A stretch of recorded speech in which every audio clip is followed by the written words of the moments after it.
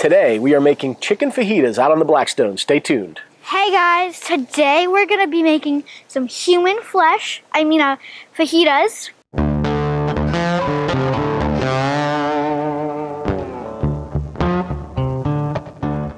Today we are making chicken fajitas, all the things you would expect. Boneless, skinless chicken breasts, onion, bell pepper, some jalapenos, and some mushrooms because we definitely like mushrooms in our fajitas. So the first thing we're going to do is we're going to take our chicken breast, we're going to open these up, and because they're a little thick on one side, I'm going to sort of butterfly these a little bit. You can see here we got a thin side and a really thick side of this breast.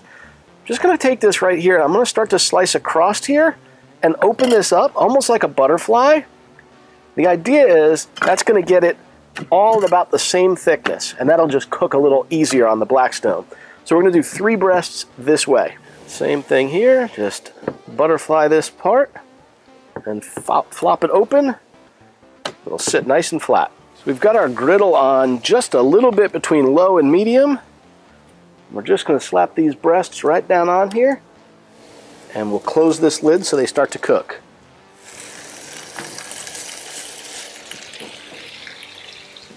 All right, well, we've got those chicken breasts going, let's go ahead and prep our vegetables and just get them cut up so we can begin to start sauteing these as well. So I'm just using one onion. Normally, if I were making this much fajita, I would probably do multiple onions. I think I've probably shared on this channel before. Not everybody in our family likes them, so this will probably be, you know, me and the oldest grand squid that are eating the onions. One whole one will be more than enough. Do the same thing here with my bell pepper. I like to just sort of take these and go right around the stem on these guys. Makes it nice and easy to get them cleaned out. Now I'm a fan of my bell peppers cut pretty thin. I know a lot of people like them a little bit bigger. I don't, so I try to go nice and thin with these guys. And I say thin, I'm talking about a quarter inch or so thick.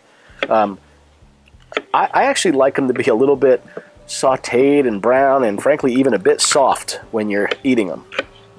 As opposed to, you know, when you get them at a restaurant and they're, they're still the, the heavy crunchy part in the fajita mixture. And same with our jalapenos. And I like, what I like to do is I like to cut the, uh, the very tail end off as well as the end up top. It makes it a little easier for cleaning out the insides of these guys. That way, if you just cut them down this way, sort of clean them right out. What I like to do is take my knife in here and roll it right along these fins. And if you do that good, you can sort of just get all of the, uh, the seed pods right out of that guy. I can start to hear some of those chicken breasts sizzling up, which is perfect. That means it's time for me to go ahead and season them before I flip them. I'm just going to take these jalapenos and cut them into nice little tiny segments. We'll saute these separately and keep them separate so anybody that wants the spicy jalapenos can get them. Those that don't can skip them. I know a lot of people just put raw jalapenos in their fajitas. I'm a fan of uh, sauteing them. I think they're a little bit better that way. I'm just using a little bit of taco seasoning here. You can use fajita or taco seasoning, whatever you like. Well, it's not coming out of there very good, so let me sprinkle it lightly. Now let's go ahead and slice up our onions for sauteing as well. And again, I do these about the same size as the bell peppers, about a quarter inch, maybe even a little bit less than that. But I like to do them in these half moon size pieces. I think that's it's good to have a good chunk in there instead of almost nothing.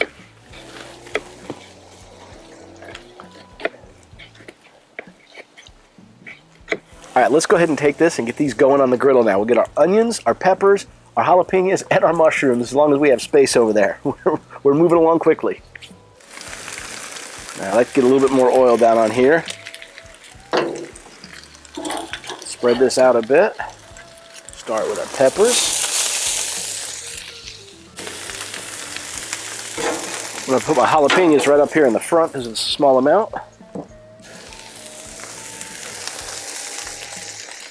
And we'll get our onions going right over here.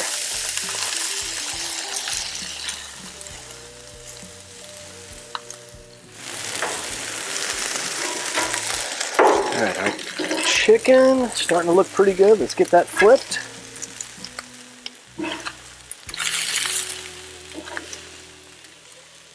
These are looking good, but I'm going to get just a little bit more of our fajita and taco seasoning right down on these guys. Now I'm over seasoning this a little bit because remember we're going to slice these up. So the seasoning is only going to be on two narrow sides of each of the fajita meat slices.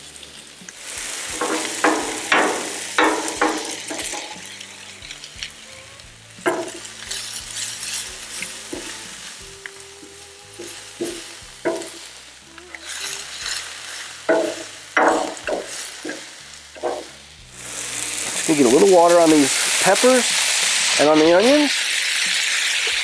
Help them keep them nice and fresh.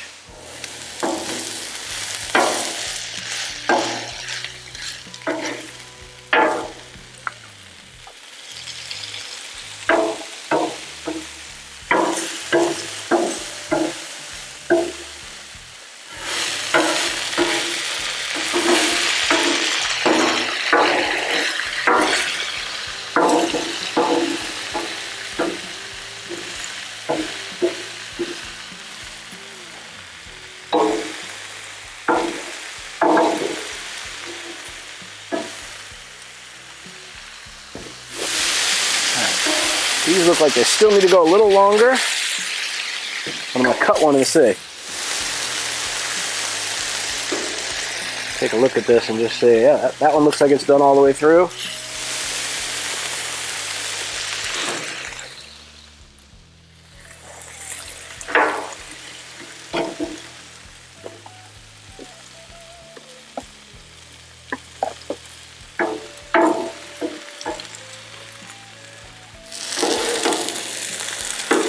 Those are starting to look pretty good.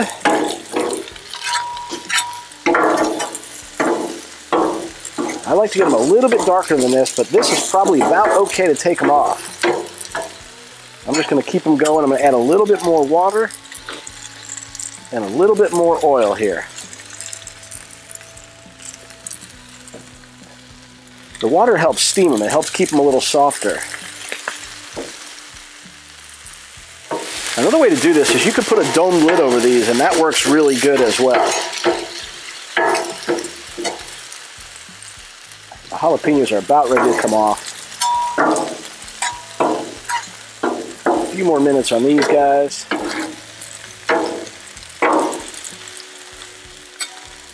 All right, while we're finishing cooking up all those vegetables, let's go ahead and just start slicing this. Now, what I like to do is you want to go against the grain where you can on these. So, oh boy, I feel a few little trickles of water here as well.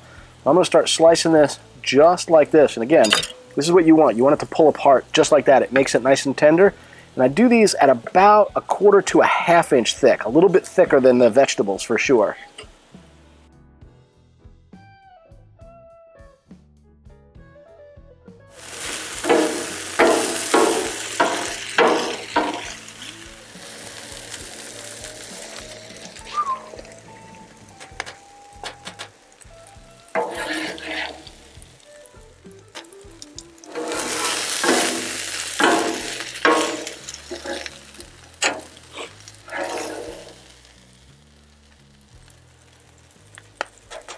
That is looking good.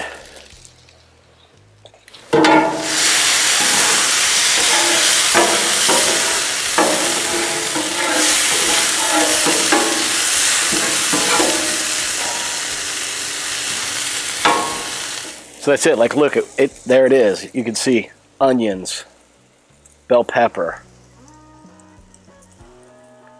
and some of this amazing chicken fajita meat. And there we have homemade fajita.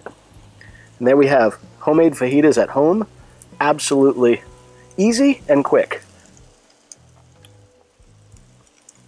Hmm.